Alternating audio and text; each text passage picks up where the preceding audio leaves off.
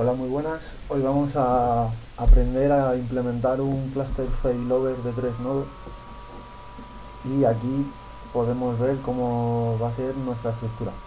Podemos ver que aquí tenemos dos de los nodos, aquí faltaría un tercero en el que tendría la dirección IP 173 podemos ver que tiene tres, tres switches en el que esta red sería la red de servicio, la, nuestra red 10, por el que accederían los clientes a los servicios del cluster. En esta red, que es la 20, estaría dedicada solo para la comunicación de los nodos del cluster y la red 3, la UMNS 3, la red 30, es la de almacenamiento en el que tendríamos que añadir el almacenamiento que queremos al cluster, a los nodos. Vamos a ver cómo, cómo nos quedaría.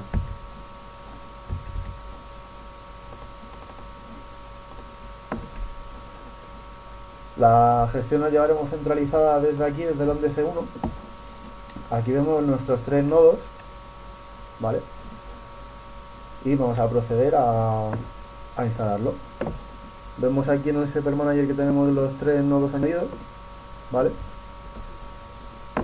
Y para, para añadir las características, el rol de failover cluster, vamos a hacer lo siguiente. Lo vamos a hacer a través de PowerShell. Para que sea lo más rápido posible. Tendríamos que ejecutar este comando que sería invoke command introducimos el nombre de los tres equipos que serán los nodos del cluster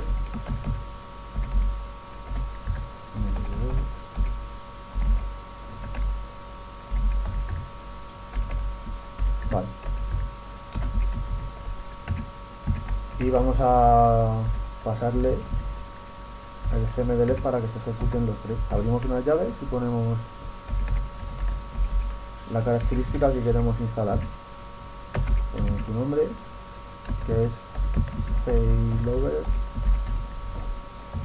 clustering.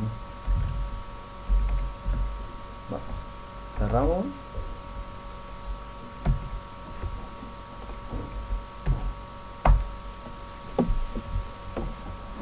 Y ahora empieza la instalación. Ya ha empezado. No tarda nada y también aquí en nuestro DC vamos a instalar la consola de gestión solo la consola de gestión de failover clustering. Para llevarlo centralizado desde ahí. Vale vamos aquí. Elegimos el DC1 y en las características es una de las RSAT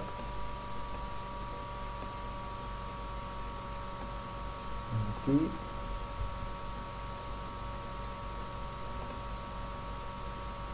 Vale. Me he olvidado que es una característica. Vale. Las tenemos instaladas ya. Sería seleccionar esas dos y aquí tendríamos la consola. Vamos a ver cómo va la instalación.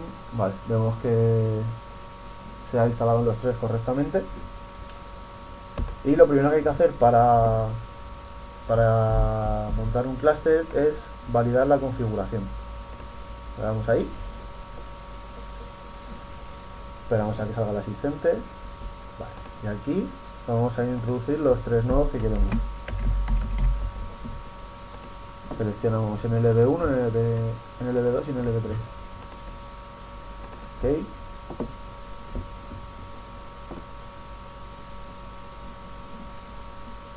Vale, aquí los tenemos, siguiente.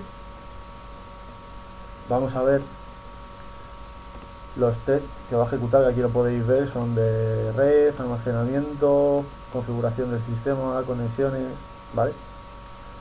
Siguiente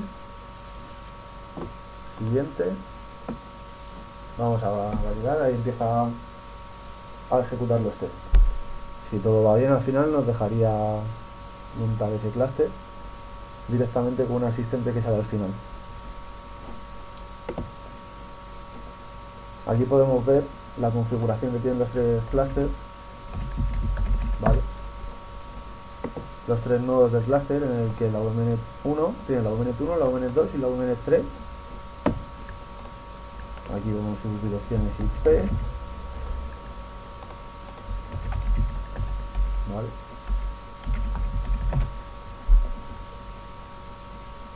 La UMN3 tiene la 30171, la 20171 y la UMN1 la 10171.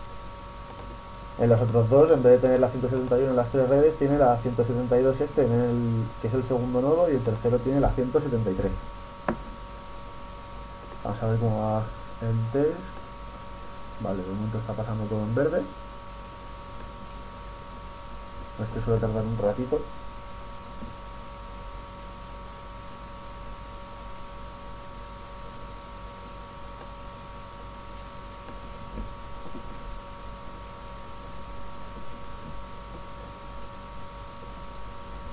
Una vez creado, cuando creemos y le demos nombre al clúster, aquí en el DNS nos aparecerá un registro con el nombre y cuando montemos un rol encima de él aparecerá el nombre del que le hemos dado al rol y las tres direcciones IP con la red 10 estos que veis aquí sería por las que acceden los nodos los clientes a los nodos del clúster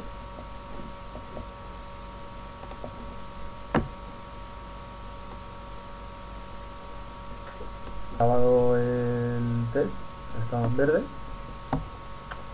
Y vamos a crear el cluster ponemos esta casilla le damos a finish y nos vamos a mirar al asistente para crear el cluster vale aquí damos a siguiente.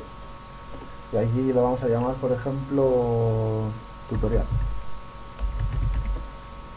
Elegimos la red de servicio que es la 10 e introducimos el IP en este caso la 191 vale next.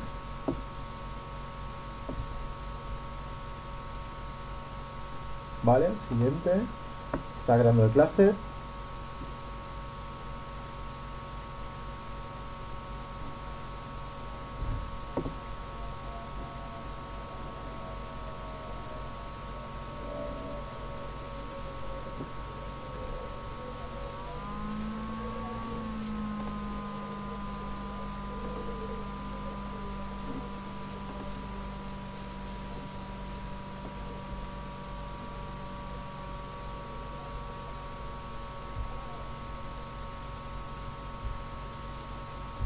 Vale, aquí ya he acabado.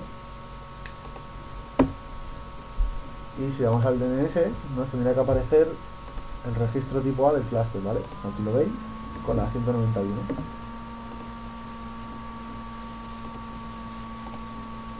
Aquí vemos, si desplegamos, vemos los nodos que tiene.